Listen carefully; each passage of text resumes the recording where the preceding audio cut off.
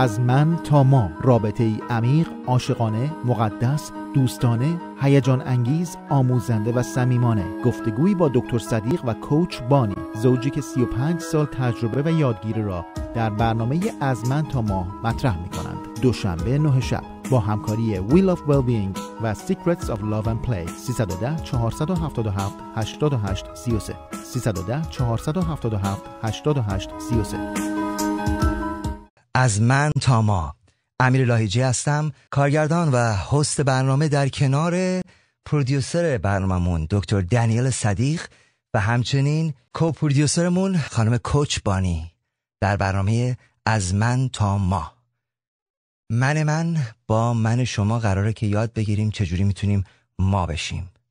در این برنامه می‌خوایم در مورد selfishness نارسیسیزم صحبت بکنیم. من فکر کنم که شروع کنیم با یک نمایش تا یکم بیشتر بدونیم که در مورد چه چیزی می‌خوایم صحبت کنیم.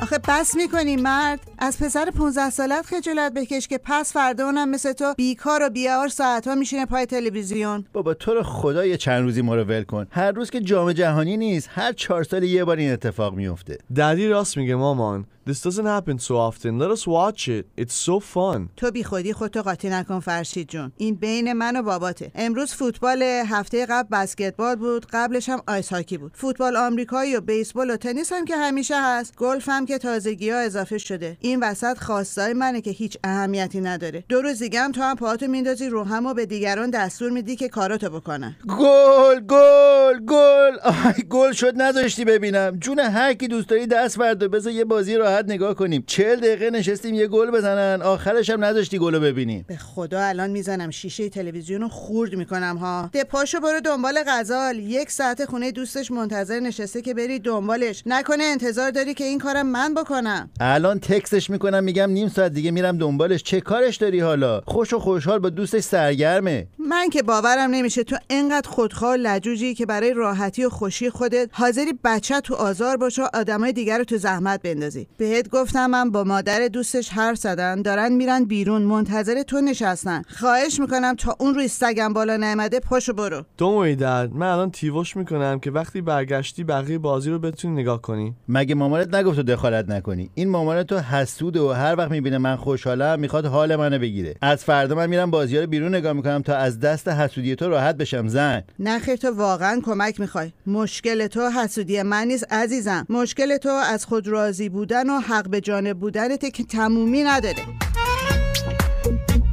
خب دوستان متوجه شدید که داریم در مورد نارسیسیزم و خودشیفتگی صحبت می‌کنیم. خانم coach بانی مطلبتون رو یکم برامون باز بکنید که می‌خوایم ببینیم در مورد چه چیزی می‌خوایم دقیقا صحبت قبل از کنیم. اینکه به نشانه ها دلیل های selfishness برسیم باید بدونیم که فرق خود دوست داشتن self love و از خود راضی بودن یا selfishness چیه. خیلی از ماها خود دوست داشتن رو با selfishness یکی می‌دونیم. و به یک شخصی که احترام می‌ذاره به ارزشهاش و آگاهانه هاش می‌شناسه لقب از خود راضی میدیم. کسی که سلف لاو داره در حالی که به سلامتی روحی روانی و جسمی خودش ارجعیت میده برای دیگران و نیازهای اونا هم احترام قائله. برای رسیدن به هدفهاش و راحتی خودش حق کسی را پایمال نمی‌کنه و سوء استفاده نمی‌کنه. It's a win-win. هم برای من خوبه و هم برای دیگری. آدم از خود راضی در جای مختلف داره. یکیش اینه که من برای رسیدن به هدفها و خواستهای خودم نیازها و احساسهای دیگری رو نادیده می‌گیرم و به اونها اهمیت نمیدم.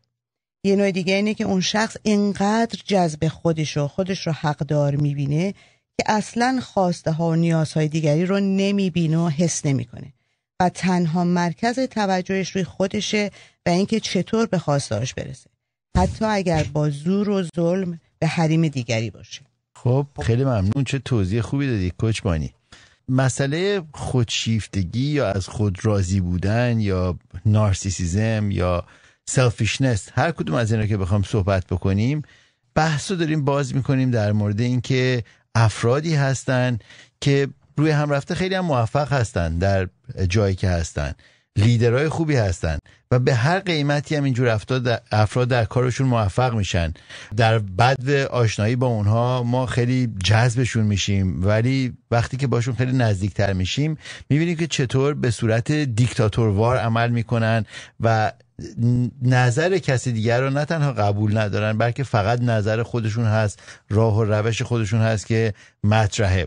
پس اگه بخوایم این نارسیسیزم یا خودشیفتگی یا از خود راضی بودن رو به طور طبیعیش نگاه کنیم یک تیفی رو داره. این تیف از مرحله این شروع میشه که همونجوری که کوچبانی گفت خودمون رو دوست داشته باشیم و چقدر برای خودمون ارزش قائل باشیم و خودمحور باشیم و هر چقدر که از اونجا دورتر بشیم به طرف اینکه چقدر از خودمون اون رضایت رو داشته باشیم که دیگران رو دیگه اصلا مورد نظر نیاریم. پس برای یه آدم خودشیفته در واقع روابط یه حالت معامله داره که هر چقدر که من بتونم جوری عمل بکنم که بیشترین بهره رو برای خودم بگیرم.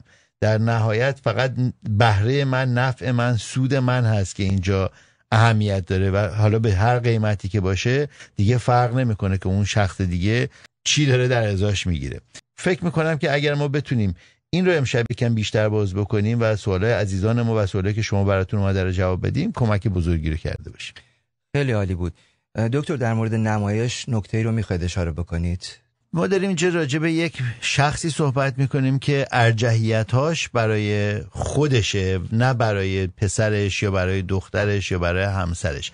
و وقتی که این ارجحیت ها رو برای کس دیگه قائل نیست نحوه که دیگران باش برخورد می‌کنن این هست که مورد خشمشون قرار می‌گیره مورد توهین و تحقیر دیگران ممکنه قرار بگیره به دلیل اینکه اون برخورد داره و در این حال که خودش هم به جوری با دیگران برخورد می‌کنه که اصلا position یا موقعیت دیگران رو در نظر نمی‌گیره زمانها رو در نظر نمی‌گیره و به طور کلی یک آدمی که از وجود خودش انقدر رضایت داره که در مورد مشکلهایی که دیگران به خاطر وجود اون باش برخورد بکنن هیچ کمکی رو نمی‌تونه بکنه و هیچ به اصطلاح باری رو از دوش کسی نمی‌تونه برداره. حالا چرا یک شخص اونقدر فقط فکر خودش هست که جایی رو برای رسیدگی به دیگران نداره؟ دلیل های مختلف داره. یه دلیل رایجش برای کمک نکردن به دیگران ترس. ترس از نشون دادن ضعف. آدمایی که از خود راضی هم فکر می‌کنن که اگه به یه انسان محتاج کمک کنن با این عمل ضعف و ناامنی داخلی خودشون رو دارن نشون میدن. افرادی که محور زندگیشون فقط روی خودشون میگرده باور دارن که دیگران کار اونها رو بیارزش تلقی می‌کنن. و سعیشون اینه که اونها رو به هدفاشون نرسونن. و براشون قبول کردن constructive criticism یا انتقاد مفید خیلی خیلی دشواره. اونو به عنوان یه سرکوفت یا یه عمل عمدی از دور کردن به هدفهاشون می‌بینن. همچون که دکتر دی گفت افراد خودخواه باور دارن که حق اوناست. اونا همه چیز رو برای خودشون می‌خوان و هیچ توجهی به نیازها و خواستهای دیگران ندارن. They feel entitled. خب دوستان عزیز با برنامه از من تا ما در خدمت شما هستیم. ما در این برنامه داریم تکنیک های مختلف کامیونیکیشن رو یاد می‌گیریم. داریم یاد می‌گیریم که چه تیپ های شخصیتی با چه تیپ های شخصیتی چه هماهنگی ها یا چه تضادهایی رو دارند. من دوست دارم که قبل از اینکه سوال دومی رو که داریم اینجا مطرح بکنم اشاره بکنم به program بسیار مفیدی که دکتر دانیل صدیق در لس آنجلس حداقل خیلی سر صدا کرده. تکنیک های communication در relationship که یک program 6 هفته ای هست برای شروع. واقعا دکتر من همیشه به دوستان میگم میگم برای گرفتن driver license و گواهینامه رانندگی حاضر هستیم بریم یک دوره آموزشی و بریم امتحان بدیم. ولی حاضر نیستیم که برای relationship شروع کردن و وارد یک رابطه جدی شدن یک دوره حداقل دو ماه رو بگذرانیم کاملا همینطوره. دلیلش این است که از کودکی ما جوری تربیت شدیم که بخوایم اشکالای خودمون رو خودمون رفع بکنیم و نخوایم اصلا خودمون رو باز بکنیم و در مورد چیزی هم که فکر بکنیم شاید درست نباشه اجازه بدیم که دیگران این رو ببینن. پس برای محافظت از خودمون سعی می‌کنیم که با ردگم کردن با نقش بازی کردن با جا خالی دادن با روی دیگری از خودمون نشون دادن اون اشکالا رو به نمایش نگذاریم و به همین دلیل هم ممکنه دوری بکنیم از اینکه بخوایم چیز جدیدی رو یاد بگیریم. ولی خوشبختانه ما در جامعه الان زندگی می‌کنیم که دیدها خیلی بازتر شده افراد خیلی بیشتر از سابق با مسائل روحی روانی خودشون روبرو هستن و خوشبختانه من دارم می‌بینم که چقدر به خصوص نسل جوون دارن میان و روی مسائل جزئی کلی رابطهشون روابط قبل از ازدواج به طور کلی چقدر میان و دلشون می‌خواد که بهترین خودشون رو پیدا بکنن قبل از اینکه بخوان برن توی رابطه و بخوان اونجا به درد سری بخورن یا به شکستی بخورن. پس این اورنس یا آگاهی در جامعه ما خیلی بیشتر شده و من خوشحالم که ما هم جزی از این آگاهی رسانی هستیم و می‌تونیم که دوستان بیشتری رو تشویق بکنیم ترغیب بکنیم که بیان کارگاه های مختلف بیان به کورسای آنلاین ما گوش بدن. به برنامه هایی که گروپ تاک هایی که داریم و فکر کنم یکی دوتاش هم به طور رایگان در همین یکی دو هفته آینده داره میاد شاید کوچبانی بخواد توضیح بیشتری رو جبش بدن. برنامه های خیلی خوبی رو ما داریم در دست تهیه داریم که امیدواریم که اینا همه بیشتر بتونه کمک بکنه. اگر می‌خواید با دفتر دکتر دانیل صدیق تماس بگیرید و همچنین کوچبانی و همکارانشون شماره تلفن 310 477 88 33 تکرار می‌کنم. 310 477 88 33 در اختیارتون هست و خواهش می‌کنم کوچ بانی همونطور که می‌دونین کتاب دکتر دی هفته پیش اومد بیرون به اسم Balancing the Wheel. با خرید کتاب و ایمیل کردن رسید کتاب به admin at wheel of wellbeing. شما می‌تونین دو جلسه گروپ کوچینگ رو با دکتر صدیق به طور رایگان هدیه بگیرید دوباره اعلام می‌کنم ایمیلش هست admin admin at wheelofwellbeing.com برای خرید کتاب هم به drsadiq.com forward slash book. D r s a d i g h dot com forward slash b o o k. و سوال بعدی که مورد نظرم هست اینه که مشخصه های آدم خودشیفته چی هستش؟ او فراوون. تا دلتون بخواد مشخصه دارن. و شاید شروعش بهترین جا این باشه که برتری جستن در روابط. یه آدمی که خودخواه هست از خود راضی هست می‌خواد که همیشه دست بالا رو داشته باشه. می‌خواد که از دیگران ارجحیت داشته باشه خودشو در رده بالاتری ببینه. پس هم خود برتربین هست هم برای نفع و راحتی خودش موقعیت بالاتر رو میجوه. دوم اینکه عدم نگهداری روابط مسالمت آمیز با دیگران. یعنی به دلیل اینکه می‌خواد که حق خودش رو بیشتر بگیره نمی‌تونه حق دیگران رو در نظر بگیره دیگران هم باش در روابط خوبی نخواهم بود. پس رابطه مسالمت آمیزی رو نمی‌تونه به طور کلی حفظ بکنه. یکی دیگه نداشتن آگاهی از حالت روانی خودشون هست. یک شخص نارسیسیست فکر می‌کنه که he's, she's it. من دیگه از این بهتر خداوند چیزی خلق نکرده. من نهایت محبت خدایی هستم که به من به زمین داده شده. پس پس اونجا هیچ به اصطلاح نقش بدی رو در خودش حس نمی‌کنه یا چیزی رو از خودش نمی‌بینه که مشکل زا باشه. یکی دیگه فقدان همحسی با دیگران empathy. They cannot really Empathy is very They important. cannot really empathize. نمی‌تونن متوجه بشن که درد دیگری در چی هست. یکی دیگه دیگران رو از خودشون جدا ندیدن. یعنی من اگه برای خودم یه چیزی درسته برای شما هم باید درست باشه. من و شما اصلا جدا نیستیم. من هر چی ببینم که خوبه دیگه خوبه دیگه. اینجا شکی نداریم.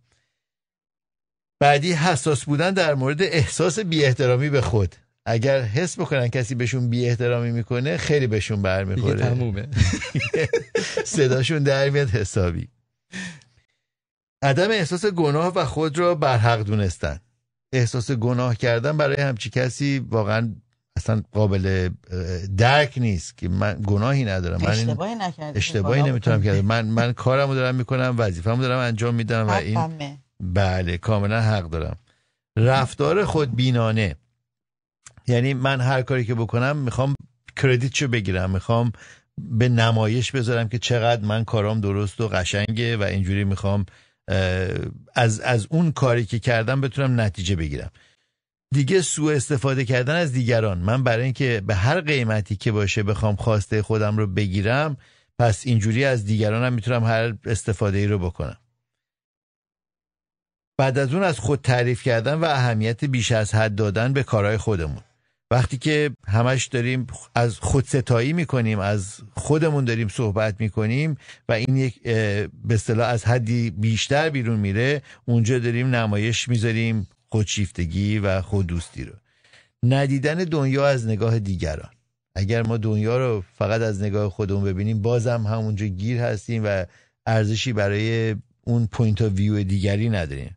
و آخر هم, هم عدم اظهار تاسف و فقدان نشان دادن قدر و سپاس. اگر من چیزی هم ببینم که خوبه چون اگه بخوام از شما تعریف کنم حالا از خودم پایین تر ممکنه قرار بگیرم بعد از شما هم تعریف نمی‌کنم. اگه چیز خوبی هم ببینم با بی رد میشم قدرشناسی هم نمی‌کنم. نه عذرخواهی می‌کنن؟ نه نه قدرشناسی می‌کنن. تموم شده. خب با شما لیست لیست خیلی طولانی خوب بود. من می‌خوام یه دو تا دیگه هم بهش اضافه بکنم. خواهش می‌کنم. کوچ بانی بفرمایید. آدمای از خود راضی منیپولیتیون خیلی قشنگ می‌تونن منیپولیت بکنن بله. یعنی که از هر راهی احساسهای شما رو تحت تاثیر قرار میدن تا به خواستای خودشون برسن بعضیا با ناز و اشوه بعضیا با قهر بعضیا با دعوا یا حتی تهدید دست به روش های می‌زنن تا به مقصدشون برسن بله. این انسان خیلی وارد و نقش کشای خوبی هن. بله. و شما رو به یه طریقی توی دام میندازن که خواستهاشون رو عملی بکنن. و اگر کاری برای دیگران می‌کنن عملشون صرفا به این دلیل نیست که برای دیگری کاری کردن. دلیلش اینه که می‌خوان ازش ازشون قدردانی و ستایش بشه. عمل اونها برای دیگری نیست. بازم برمیگرده به خودشون و احساس برتریت داشتن به دیگران. بله با برنامه از من تا ما در خدمت شما هستیم و داریم در مورد انسانهای خودخواه، خودشیفته، خودمرکز بین صحبت می‌کنیم. و شماره تلفن استودیو برای تماس شما عزیزان 323 512 72 64 هست و حال شما شنونده عزیز بفرمایید. الو منم. بله خواهش می‌کنم. بفرمایید. خسته نمیشید مرسی. سوالتون بفرمایید. بله سوال من اینه که شما وقتی میگید سلف لاف یا خود دوستی یا عشق به خود دقیقا خود به چه معنا هست؟ و اگر یک نفر از شما این رو به سوال بکنه شما چه تعریفی از خود دارید؟ این سوال اول بود. سوال دوم اینه که شما مثلا وقتی از الفاظی مثل خدا استفاده می‌کنید به عنوان روانشناس آیا این لحاظ حرفه‌ای درست هست که شما لفظ خدا رو وارد به اصطلاح موضوع تراپی و یا این خودشناسی و اینا می‌کنید؟ خواستم بگم اون انگیزه شما چیه که میگه مثلا شما خدایی هستین؟ اوکی. چیز شخصیه یا نه؟ شما مثلا براش استدلال و دلیل هم دارید. مرسی. با کمال mail جوابتون میدیم. لطف کنید روی air گوش بدید. عرضم به خدمتون در مورد سوال اول که self یا خود رو چجوری معنی بکنیم از نظر psychologically یا نظر روان درمانی شخصی به نام دانالد وینکات مسئله self رو به دو قسمت تقسیم می‌کنه. یکی true self یکی false self این true self یا اون self حقیقی ما واقعی ما در واقع یک احساسی است که ما باید در مورد خودمون داشته باشیم که خودمون رو به طوری که هستیم واقعا هستیم بتونیم مشاهده بکنیم و بتونیم از اونجا اون adjustment ها یا تغییرهایی رو که لازم هست در راه و روشی که برامون زندگی بهتری رو بیاره اون رو بتونیم نشون بدیم. پس اون authentic self ما یا original self ما اون self واقعی ما هست که روش باید کار بکنیم. ولی یه صرف دیگه داریم به نام فاسف اون فاسف در واقع نمایشی است که از خودمون می‌ذاریم. اون دیدگاهی است که می‌خوایم دیگران در مورد ما ببینن یا اونجوری که دیگران ما رو دیدن و برداشت می‌کنن ما می‌خوایم بر اساس اون رفتار بکنیم. پس وقتی که داریم بر اساس اون فاسف عمل می‌کنیم خود واقعیمون نیستیم و در واقع یک خودی هستیم که مجزاست. یه خودی هستیم که نمایشی یا استعاره پس ما اونو می‌خوایم تبدیلش بکنیم به اون خود واقعی خودمون که بتونیم در بیام سوال دیگه ایشون که راجع به خدا بود من نمی‌دونم ایشون این سوال از کجا آوردن چون ما بحثی راجع به خدا نداشتیم ولی من فکر می‌کنم که شاید لغت خود و خدا خود به خود این تدایی رو ایجاد بکنه که تا جایی که من شخصا اعتقاد دارم فکر می‌کنم که اگر خدایی رو ما در نظر داشتیم اگر نیروی الهی نیروی آسمانی نیروی بزرگتر از خودمون رو در نظر داشته باشیم اون نیرو هم یک قسمتی از خود ماست. پس در خود من در اون خود واقعی من که الان صحبت کردیم خدایی وجود داره که حالا این خدایی که در من هست با خدایی که در شما هست با خدایی که در دیگران هست به طور کل مجموعه اونا میشه اون خدایی که ما میپرستیم یا اعتقاد داریم یا بیلیف سیستمی که در هر فرقه و مذهب و روشی باشیم اگر به یک نیروی اعتقاد داریم که این نیرو یگانه هست یک نیروی هست که به طور کلی و واحد روی همه چی داره تأثیر گذار میشه به عنوان اون نیرو در خود ما اون وجود داره من فکر می‌کنم که لغت خدا از خود آ یعنی we are in بله. awe of ourselves ما از خودمون واقعا انقدر به اون جای بالا می‌رسیم که به اون می‌رسیم. امیدوارم که توضیح کافی رو در این مورد داشته باشم ممنون. از برنامه من تا ما در خدمت شما دوستان هستیم و اگر سوالاتی دارید می‌تونید روی سوشال میدیا سوالاتتون رو برای ما بفرستید. روی فیسبوک دکتر- دانیل صدیق و همچنین Secret of Love and Play و همچنین From Me to We. پیج های مختلفمون روی فیسبوک اینستاگرام هست و برنامه رو می‌تونید روی ساوند کلاود و یوتیوب دنبال بکنید. چه بد حالی تنهاشی و عشقه. ببین ناخوشی اما جداشه. کسی که عشق دیروز تو بوده به فکر درد امروزت نباشه. چه سخت عمری با هم باشین اما نفهمه واسه چی حالت خرابه. که روزاشو کنارت باشم اما شبا بی شب به خیر تو بخواه مثل مرگی که از آینده تو. فقط روزای بد تو راه باشه. تو دنیا تو بذاری پاش ولی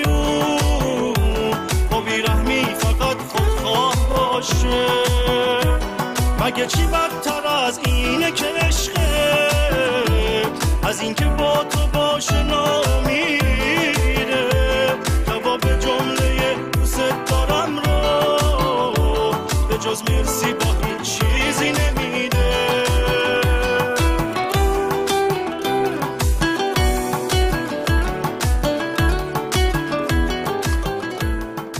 از من تا ما. From me to we با شما دوستان عزیز هستیم و می‌دونید که اگر این برنامه رو از ابتدا نشنیدید می‌تونید برید روی ساوند کلاود و روی یوتیوب ما و این برنامه ها رو از اپیزود اول دنبال کنید. برنامه های متنوع دیگه هم براتون خواهیم داشت. و همچنین در همینجا من دوست دارم که در مورد کتاب Balancing the Wheel اشاره بکنم که برای تهیه کتاب Balancing the Wheel از دکتر دانیل صدیق می‌تونید به وبسایت drsadiq.com book drsadiq.com book که مستقیم شما رو می‌بره به امازون و در روی امازون می‌تونید کتاب رو تهیه بکنید و اگر این کتاب رو تهیه بکنید و رسیدش رو به ما ایمیل بکنید می‌تونید با دکتر صدیق به طور رایگان دو جلسه رایگان group coaching داشته باشین که هدیه جدیدی هست. ولی باید ایمیل ادرس رو خدمتون عرض کنم. باید رسید رو به این ایمیل ادرس بفرستید admin at willofwellbeing.com امیر جان این گروپ کوچینگ هم همین این یک شنبه مارچ سوم و مارچ 17. و بعدیش مارچ 17 هم. At 2 دو. جلسه بیشتر نیست پس هر چقدر که زودتر بخوانین با ما باشن بعد زودتر کتابشون تهیه بکنن که بتونن در مارچ 3 یا مارچ 17 ساعت دو بعد از ظهر هست این برنامه که می‌تونن با ما روی آنلاین در تماس باشن و ما در خدمتشون خواهیم بود که ایمیل بتونیم- ما بهشون ایمیل می‌کنیم که بله. چجوری و خیلی توضیح کافی و کاملی رو راجع به خیلی از مواردی که در این کتاب بهش اشاره شده خواهیم داد. سوال مختلفی اینجا من دارم ولی می‌خوام بریم سراغ شنونده عزیزمون. الو سلام. خانم بفرمایید. خسته نباشید. من یه سوال دارم نمی‌دونم مربوط به بحث امشب میشه یا نه. چجوری میشه که بعضی مادرها مانع ازدواج بچه هاشون میشن ریشه این مسئله به اصطلاح چه عواملیه؟ دکتر دنیل صدیق؟ خب لطف کنید از روی خط گوش بدید. ببینید در مورد بحث امشب ما نخواهد بود ولی من یه توضیح مختصری رو سعی می‌کنم بدم. مادرهایی که مانع از ازدواج بچه هاشون میشن دلایل متفاوتی می‌تونه داشته باشه. یکی ممکنه از نداشتن اعتماد به نفس خودشون باشه یکی ممکنه از عدم امنیت که بیشترینش این هست از عدم امنیت در مورد اتفاقایی که قرار بیفته جوری که این روابط قرار برقرار بشه. یکی دیگه می‌تونه به خاطر این باشه که در مقایسه با اون شخصی که فرزندشون می‌خواد باش ازدواج بکنه به طور ناخودآگاه احساس حسادت بکنن و نخوان که اون فرزند ازشون جدا بشه. ولی این آگاهانه نیست یعنی مخصوصا کسی این کارو نمی‌کنه. و دلایل مختلفی. فکر می‌کنم که اگر یک همچین بحثی رو داشته باشیم که مادری مانع از ازدواج بچهش بشه اون تقصیر مادر نیست. به نظر من مادر حالا مسائل خودشو داره و هر جوری که داره رفتار می‌کنه اون فرزند رو باید زیر سوال برد که چرا اجازه میده که مادرش روش چنین تأثیری رو داشته باشه و اون فرزنده که باید رو خودش کار بکنه تا بتونه از زیر یوغ چنین مادری در بیاد و بتونه رفتار درست خودش یا اون عمل درست خودش رو بتونه پیدا بکنه و بکنه. کوچ بانی خواهش می‌کنم شما. یه جورایی هم ممکنه که به خودخواهی ربط پیدا بکنه سوال خانم برای آره. اینکه خیلی مادرها هستن به خاطر اینکه نمی‌خوان اون بند ناف رو رها نمی‌کنن بچه رو نمی‌خوان رها بکنن. تا اون جایی که ممکنه می‌خوان بچه رو پیش خودشون نگه دارن. هنوز باهاش باشن. و اینکه ببینن بچه با یکی عاشق یکی دیگه است. زندگیشو داره با یکی دیگه شروع می‌کنه. برای بعضی مادرها unfortunately یه واقعیت و هر کاری سبتاژ می‌کنن که این اتفاق هرچی دیرتر بیاد ولی آگاهانه نیست. من بازم می‌خوام بگم این این Yes. عمل یه, یه چیزی نیست که it's برخلاف yes. Yes. مرسی کوچبانی. همچنین همینجا می‌خوام اشاره کنم دوستان عزیزی که می‌خواهید از خدمات کوچ بانی استفاده بکنید. در زمینه life coach و hypnotherapy ایشون فوقالعاده هستند. برای رهایی از استرس و اضطراب بالا بردن انگیزه در زندگی حذف کردن عقب انداختن کارا تایمتون رو بخواید manage بکنید و همچنین بالا بردن اعتماد به نفس در dating و شروع رابطه یه رابطه خوب. و رهایی از ترس ها و نگرانی های مختلفی که هممون یه جورایی باهاش شاید درگیر باشیم از کوچیک تا بزرگ. می‌تونید از خدمات کوچبانی استفاده بکنید. شماره تلفنی رو که خدمتتون میدم رو همین الان یادداشت بکنید. فکر نکنید یادتون میمونه. بنویسید لطفاً. 310 477 88 33 اه، خب مشخصات انسان های خودشیفته رو گفتیم. حالا می‌خوام ببینم در یک خانواده چطور میشه که با چنین افرادی رابطه برقرار کرد؟ You're the expert on that. خب از کوچبانی شما شروع کنید اولش پذیرا بودن و قبول کردن. قبول کنیم که این شخص که در زندگی ماست آدم خودخواهیه و به امور و ارزش های من اهمیت نمیده. پذیرا بودن معنیش این نیست که ما این روش رو قبول داریم و میپذیریم. فقط قبول می‌کنیم که این یه واقعیته در مورد این شخص. بعد از پذیرش ما باید به خواسته و سلامت روحی جسمی خودمون توجه کنیم. نگذاریم که شخص مقابل با انتظاراتش تنک انرژی ما رو خالی کنه. آدمای خودخواه بدون پوزش و با پررویی از شما ادعا دارن و هرچه شما بیشتر به خواستای اونا عمل کنید نیازهای اونا از شما بیشتر میشه. پس خودتون رو محافظت کنید حد و حریم خودتون رو خیلی مشخص توجیه کنید. ممکنه که اون شخص قادر به فهمیدنش نباشه. اما این کار شما رو از زیر کنترل بودن و صدمه زدن به خودتون رها می‌کنه. یعنی که شاید اون شخص باید شما رو حد و مرز شما رعایت نکنه باز بیاد تو حد و مرز شما. ولی شما شمایید که باید بله حد مرز شما باید خیلی محکم وایسین حد و مرزتون رو بدونین. حتی اگر شده بارها تکرار بکنید و بگید که کجا من می‌تونم کمکت بکنم کجا نمی‌تونم بکنم. خیلی محکم. و تا حد امکان توجهتون رو نسبت به اینجور افراد کم کنید توی کامیونیکیشنتون صحبتاتون خیلی محدود و کوتاه بکنید. توی داستاناشون نیفتید.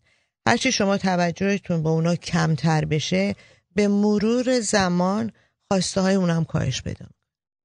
مرسی کوچ بانی. دکتر خواهش می‌کنم. من فکر کنم در مورد شخص نارسیسیست اگه بخوایم به طور کلی صحبت بکنیم یعنی در درجه بالای خودشیفتگی که صحبت می‌کنیم چون که این شخص به هر صورت ارزشی برای دیگران قائل نمیشه تنها جوری که میشه اینها رو متوجه کرد یکی با ادویکیشنه که بتونن متوجه این اشکال بشن چون خودشون متوجه نیستن. باید بهشون توسط مدرک توسط مقاله توسط نوشته توسط یک تراپیست یا یک منبع موثق باید بتونن این آگاهی رو در مورد بیماری خودشون پیدا بکنن. چون در واقع یک بیماری بیماری سختی هم هست. و چون که خودشون به اصطلاح نه اصلا آگاهی دارن و نه اینکه به عنوان اشکالی می‌بینن. این دارن به عنوان خوبم می‌بینن. پس همین جوری اون انرژی که ازشون سرازیر هست مثل سیلاب همه رو داره با خودش می‌بره. ولی خودشون هم متوجه نیستن که انقدر کوبنده و مخرب هستن. پس وقتی که ما داریم راجع به یه همچی شخصی صحبت می‌کنیم باید بدونیم که بعد از آگاهی رساندن و حتی اگر هم آگاهی رو نفهمه چویس بعدیمون انتخاب بعدیمون هست که جلوشون بتونیم وایسیم. یعنی اگر ما با قدرت با اینا روبرو نشیم اگر متوجه نشن که ما هم برای خودمون وجودی رو داریم. ما هم برای خودمون ارزشی رو قائل هستیم و اجازه نمیدیم به چنین شخصی که روی ما پا بذاره اونجاست که حالا شاید بتونن اونا یکم عقب بکشن برای اینکه نمی‌خوان زیاد درگیر بشن میرن سر کسی که بتونن سر اون شخص بتونن اون یعنی خودشیفتگی خودشون رو خالی بکنن. پس اگر به یه جای محکم بر بخورن با اون جای محکم دیگه نمی‌تونن اون کار انجام بدن. هر چقدر ما جلو اینا ضعیفتر عمل بکنیم و مظلومتر و محکومتر خودمون رو در مقابلشون حس بکنیم بیشتر اونا روی ما سوار میشن و ما رو از خط خارج می‌کنن. ولی وقتی که متوجه بشن که ما هم حواسمون هست که اجازه نمیدیم که اونا بخوان به ما همچین روشی رو پیاده بکنن اون وقت هست که ما می‌تونیم یک نیروی اضافه رو برای خودمون پیدا بکنیم و جلوشون وایسیم. مرسی. حالا ریشه های اون از کجا میاد؟ ریشه های نارسیزم بله. خب معمولا این در سنین خیلی پایین اتفاق میفته به خصوص در سن دو تا چهار سالگی.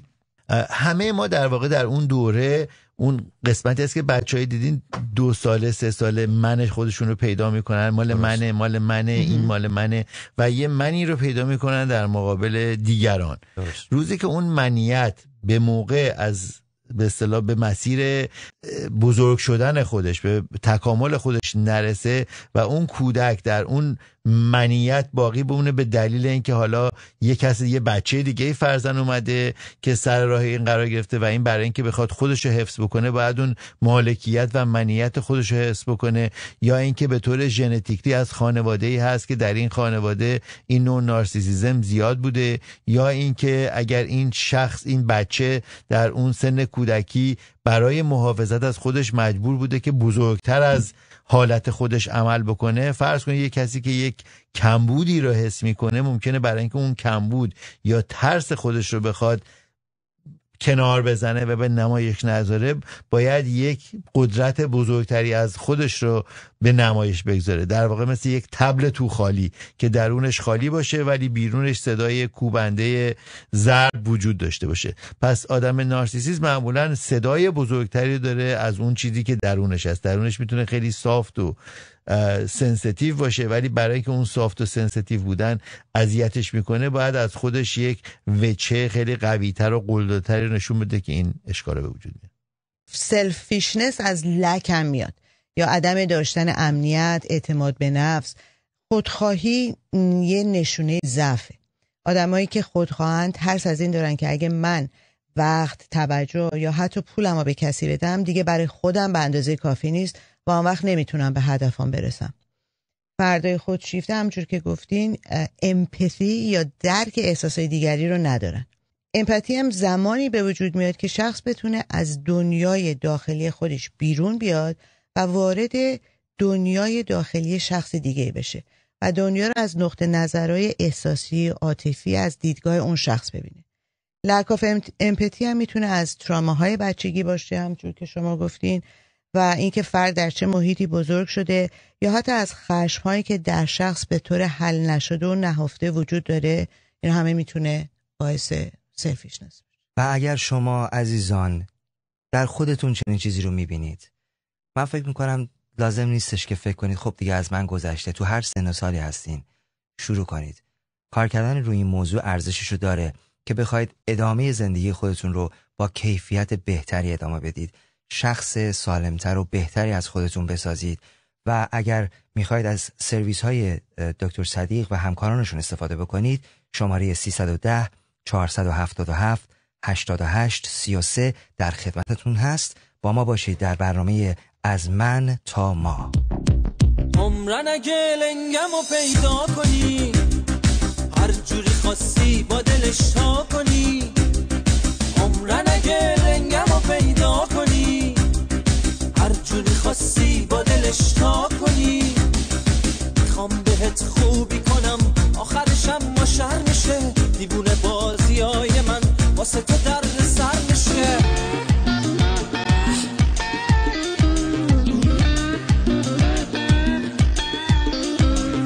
عمرن اگه لنگم و پیدا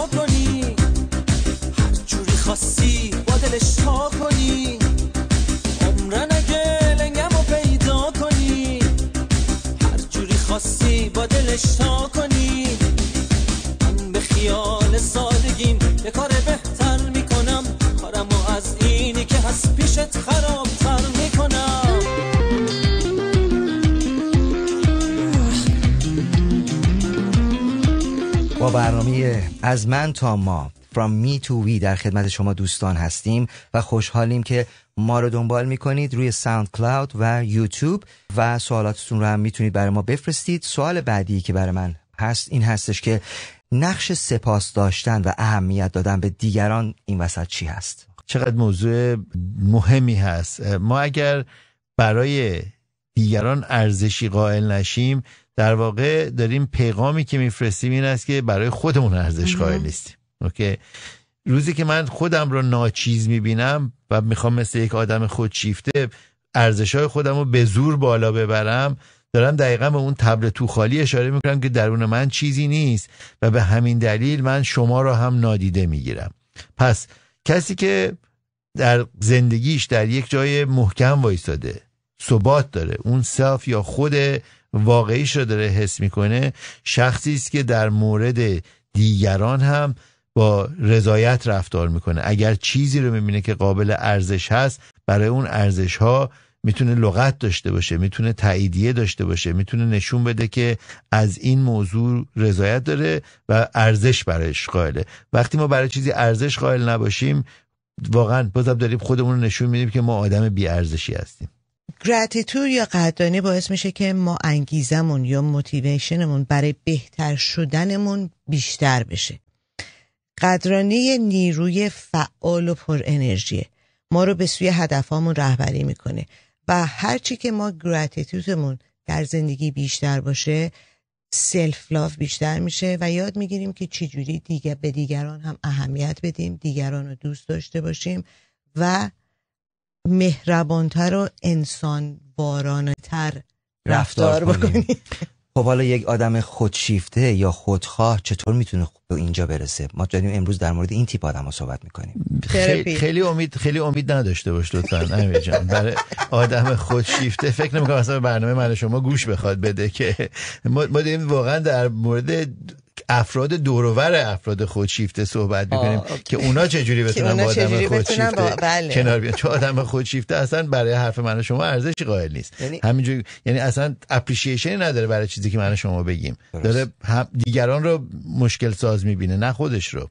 پس ما با اونا کانکت نمی‌کنیم لزوما در این برنامه ولی اگه بخوام دوباره با همون ادامه بدیم آدمی که شکرگزار هست آدمی که از نعمت که داره داره قدردانی می‌کنه همینا رو می‌تونه در تمام زندگیش هم در مورد دوستش در مورد همسرش در مورد دیگران داشته باشه و از وجود اونها هم در زندگیش احساس رضایت بکنه و اون به خودشناسی طرف کمک می‌کنه از خود آگاهی خودش بیشتر می‌کنه و می‌تونه با لطف و صفای بیشتری با دیگران زندگی بکنه.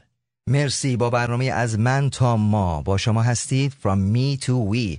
این برنامه رو شما می‌تونید تکرارش رو بارها یا بارها خودتون و برای دوستاتون بفرستید بشنوید و امیدوارم که اگر سوالی هم دارید برامون بفرستید. اپ ساوند کلاود دانلود بکنید. پادکست خیلی خوبی هست حتما خیلیاتون دارین استفاده می‌کنید. روی یوتیوب همینطور می‌تونین استفاده کنید و سوالاتتون رو برای ما بفرستید. کتاب Balancing the Wheel رو برای خودتون و برای دوستاتون بگیرید. بهترین هدیه است به نظر من.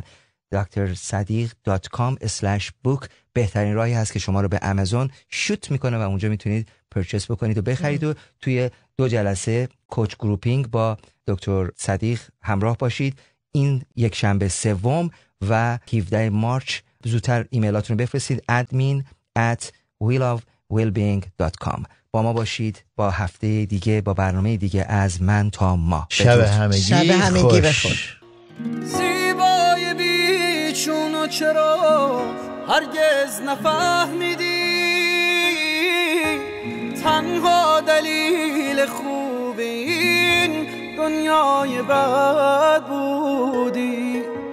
اما تو تقصیری نداری. کاش امکان داشت. این قدرها زیبا نبودن را بلد بودی. شهرهای ساحلی رفته. دریا حسابت را از آدم ها جدا کرده. بیش از تو زیبایی همیشه حد و مرزی داشت. زیبایی تو مرزها را جا به جا کرده. از من تا ما. رابطه ای عمیق، عاشقانه، مقدس، دوستانه، هیجان انگیز، آموزنده و صمیمانه. گفتگویی با دکتر صدیق و کوچ بانی، زوجی که 35 سال تجربه و یادگیری را در برنامه از من تا ما مطرح می کنند. دوشنبه 9 شب با همکاری Wheel of Wellbeing و Secrets of Love and Play. 310 477 88 33 310 477 88 33